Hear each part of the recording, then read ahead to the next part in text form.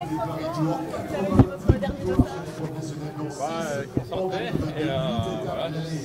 que, comme je disais hier, qu'on va faire un Super Bowl, les conditions climatiques sont idéales. Donc euh, voilà. Que vous attendez à autant d'hommages, autant d'éloges, un coureur extraordinaire et un truc sympa Bah après, euh, c'est vrai qu'après 20 ans, je connais beaucoup de monde, donc euh, ouais, c'est toujours euh, sympa de, de recevoir autant de, de messages et de soutien, donc ça fait plaisir.